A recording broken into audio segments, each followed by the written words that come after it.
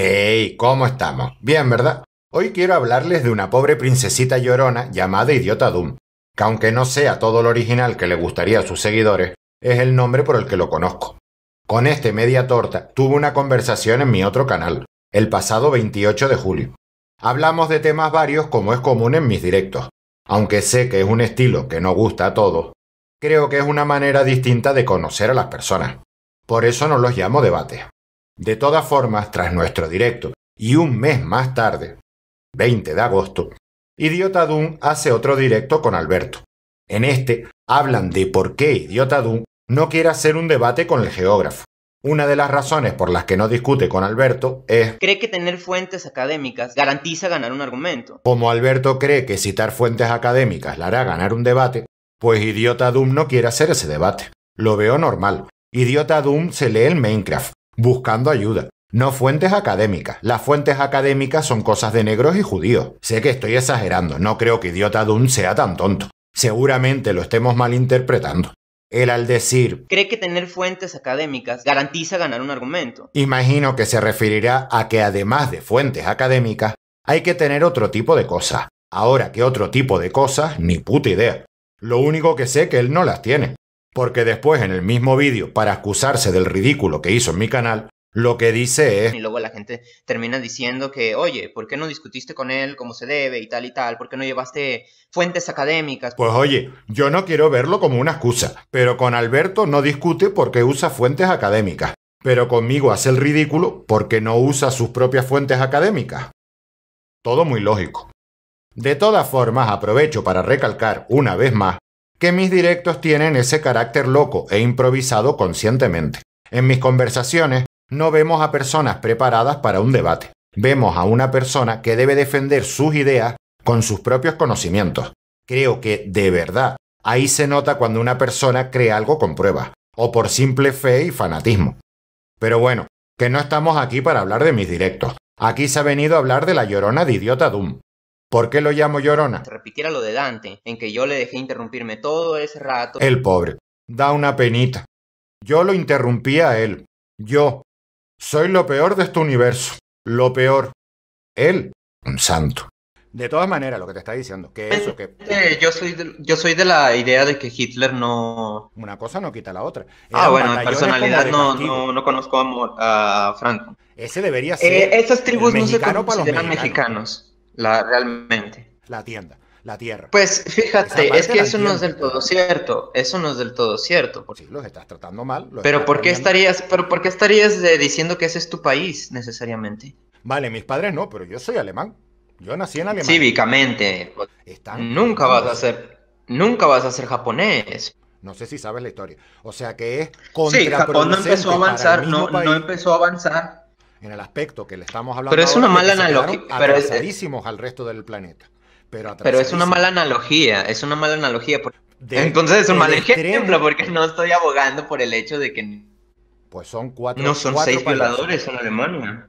No, no. no eh, es que solo es, con buscar, solo es con buscar en Google. epidemia de 2015. Pues lo siento, idiota Doom. Parece que tus lloros son solo eso. Lloros de pobre princesita resentida.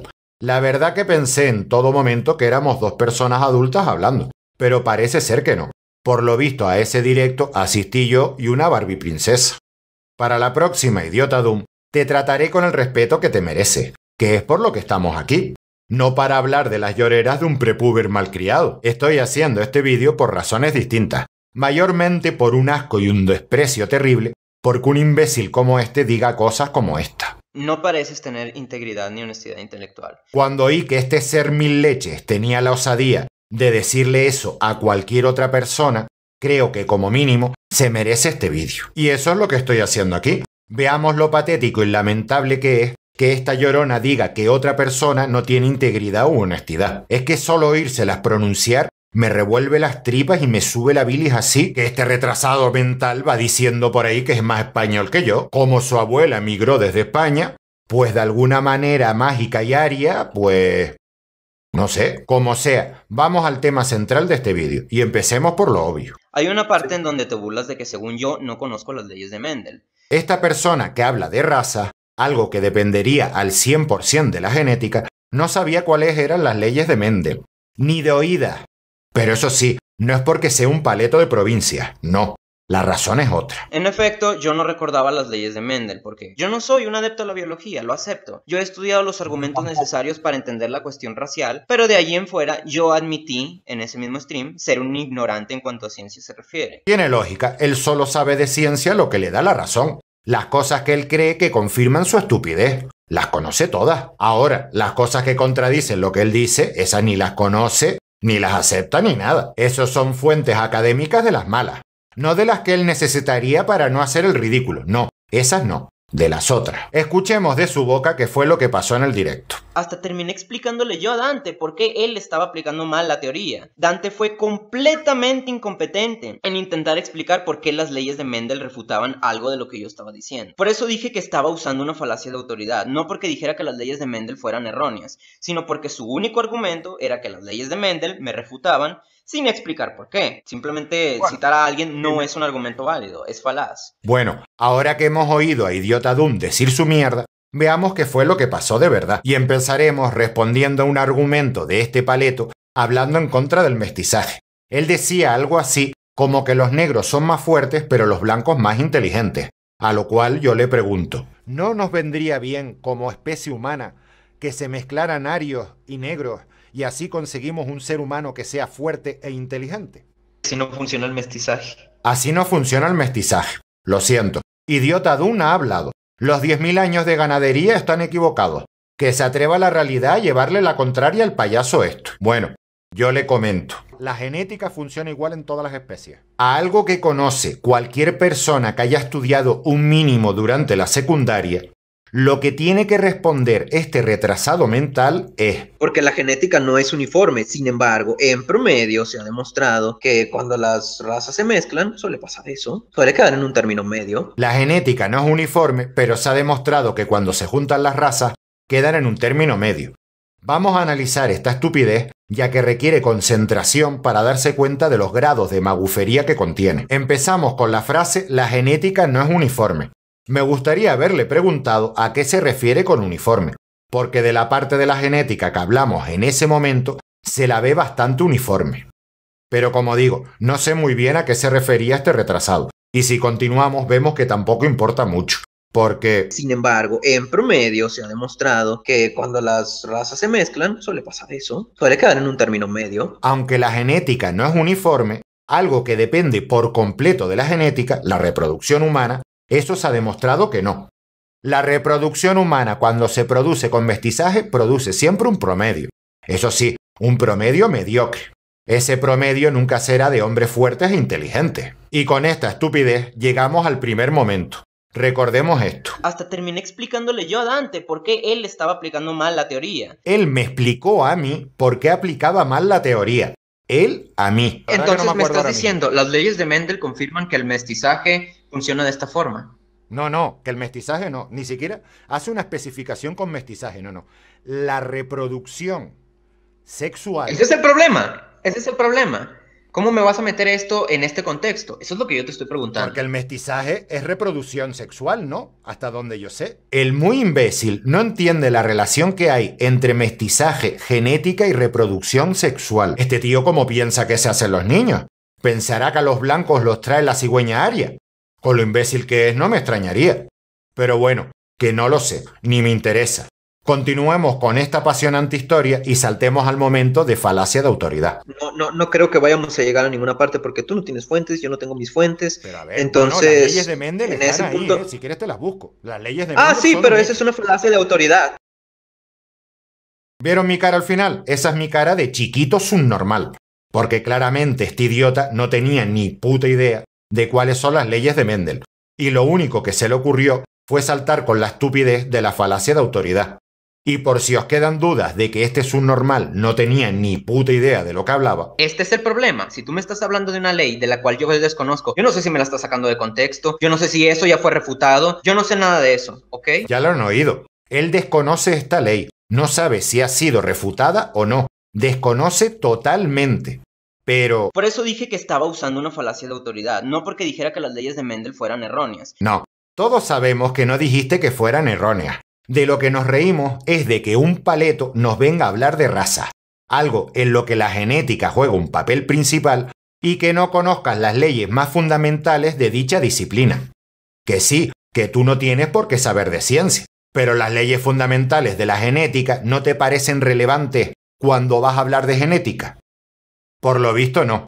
Pero tranquilos, que Idiota Doom no terminó ahí. Recuerden que le añadió... Sino porque su único argumento era que las leyes de Mendel me refutaban sin explicar por qué. Simplemente citar a alguien no es un argumento válido, es falaz. Por lo tanto, según este imbécil, yo no pude demostrarle por qué lo que él decía contradecía las leyes de Mendel. Y está claro que no pude, porque este retrasado piensa estupideces como esta. Un negro se reproduce con una blanca, el hijo no va a salir ni negro ni, ni blanca, va a salir un término, una combinación de ambas. Este subnormal no entiende por qué las leyes de Mendel tienen que ver con esto. A ver, subnormal, igual que en esta foto, dos guisantes amarillos y redondos pueden dar uno verde y deforme, de la misma manera y por las mismas razones, un negro y una blanca pueden dar un hijo blanco, un hijo negro o cualquiera de las combinaciones intermedias, porque es lo que predice las leyes de Mendel. Por eso son relevantes las leyes de Mendel. Dicen que lo que tú estás diciendo no puede ser verdad. Ah, pero perdona. Claro que es reproducción de la madre y del padre. Pero no es cualquier tipo de reproducción sexual. La reproducción sexual es muy compleja y depende de muchos factores. Ya veis, es reproducción sexual, pero no cualquier reproducción sexual, es una reproducción sexual llena de magia aria que evita que se comporte de manera normal, supongo. Y oye, a lo mejor tiene razón. Como no pensé que fuera tan imbécil, pues a lo mejor no me esforcé en explicarlo para sus capacidades. Tal vez debería haber empezado por las flores y las abejas, y a partir de ahí irlo complicando. ¿Pero para qué? Si recordemos que... Hasta terminé explicándole yo a Dante por qué él estaba aplicando mal la teoría. El prepotente de mierda este, que no entiende la relación entre el mestizaje y las leyes de Mendel, me explicó a mí. Cuando él lo entiende, los mínimos. Los mínimos. En el espermatozoide de tu padre no venía el rollo de ser negro. Porque eso es un rollo genético. No, ¿cómo va? ¿Cómo va? Es un negro. Es un, negro. ¿Cómo no va a venir el rollo de, de ser negro? Ser negro ha dejado de ser una serie de genes que, como otros cualquiera, pueden heredar o no tus hijos. Para esta basura cuasi humana, ser negro es una especie de estigma que se te pega a tus genes y lo transmites a tus descendientes. Sí o sí. ¿Cómo va? Es un negro, es un negro, negro. ¿Cómo no va a venir el rollo de, ser negro? Es un negro. Bueno, un subnormal que no entiende que al nivel de nuestra conversación y hablando de genética, todas las especies con reproducción sexual hacen básicamente lo mismo. O sea que si funciona con los perros, debería funcionar con los humanos. Y si funciona con los humanos, debería funcionar con los perros. Porque no, pues diferente. Incluso el hecho de que compartamos que seamos mamíferos no significa que todas nuestras funcionalidades son idénticas. Es incapaz de entender un ejemplo tan burdo como ese. Para este subnormal creyente en la magia aria, los seres humanos estamos por encima de la genética, la naturaleza o cualquier hecho de la realidad que contradiga este soquete, que se atreva a la realidad a contradecirlo que termina en un campo concentración. Mm, vale, dale. Mapeado el ADN de las moscas de la fruta, que tienen infinitos menos genes que nosotros. Y todavía no tenemos ni idea de lo que hacen más de la mitad de los genes de ellos. De los nuestros, sabemos. No somos moscas. Mi argumento es: no sabemos casi nada de esto que es mucho más fácil. Me estás diciendo que de esto otro, que es infinito más complicado, sabemos más. ¿Y cuál es su respuesta? no somos moscas. No somos moscas. Pero bueno, que después le despertó el cerebro y ya dijo algo que parecía un argumento. En todo caso, estoy usando una falacia porque me estás diciendo que el hecho de que no sepamos absolutamente todo de nosotros significa que no sabemos lo que ya sabemos. Viendo lo subnormal que es, pues no me extrañó este argumento de mierda, ya que no niego lo que dice porque sepamos poco. Niego lo que él dice porque sé que es una mentira de fanático imbécil. Yo intentaba enfrentarlo a lo estúpido de su creencia, pero viendo que no funcionaba, le pedí que me pasara uno de esos Genes de la inteligencia. RS 10119. Y pon Gene si quieres para que la búsqueda te sea más fácil. En la descripción te dejo el enlace a un paper que él mismo me pasó luego por Twitter. En él podemos leer que los participantes de este experimento, todos de procedencia europea, se les pidió que realizaran una serie de experimentos que medían sus habilidades cognitivas. Eso pone en el paper, habilidades cognitivas, me pregunto por qué usarán esa palabra. Más abajo podemos seguir leyendo. Algunas capacidades como el vocabulario, algunas habilidades matemáticas y conocimientos generales son conocidas como habilidades cristalizadas. Por contraste, las habilidades cognitivas fluidas son, por ejemplo, la memoria, el razonamiento, la velocidad de procesamiento, las habilidades espaciales y las funciones organizativas. Como vemos, en ninguna parte se usa el término inteligencia, de una manera genérica, no por lo menos como pretendía usarlo Idiota Doom. Idiota Doom podría decir que las relaciones son universalmente positivas y que las personas que tienden a hacerlo bien en una parte de las habilidades cognitivas fluidas tienden a hacerlo bien en las demás. Y que a eso es a lo que él se refería con inteligencia. Pero las asociaciones están lejos de ser perfectas.